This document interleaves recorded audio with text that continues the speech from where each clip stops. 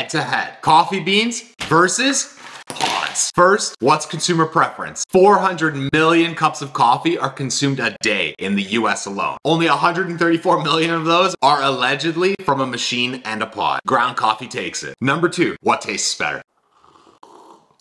Yeah, ground coffee takes it. Number three, cost. Ground coffee starter kit, you're looking at around $50, Chemex, grinder, etc. And the beans themselves cost between one or $2 an ounce. Versus pods, a machine's gonna cost you $75 and the pods themselves are between 80 cents and $1.30. So pods take it, probably over time. Convenience. Ground coffee, 10, 20 minutes to make that perfect brew versus pods, put it in the machine, you're ready to go. Pods take it. Celebrities, Hugh Jackman, big ground coffee guy versus George Clooney. We've seen them all in those pods ads. Ground coffee takes it. And finally, sustainability. Both I'm gonna say depends on the brand. Only question left then, what do you prefer?